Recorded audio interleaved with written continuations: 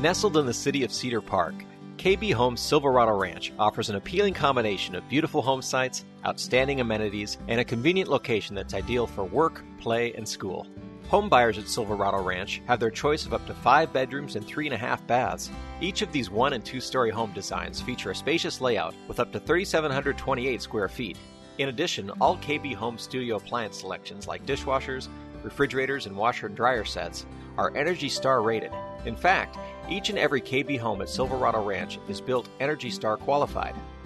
The beauty of a KB home can be found both inside and out. Large wooded home sites offer plenty of natural beauty, while the Silverado Ranch exterior home designs feature attractive three sided masonry, fully sodded front and backyards, and six foot privacy fencing.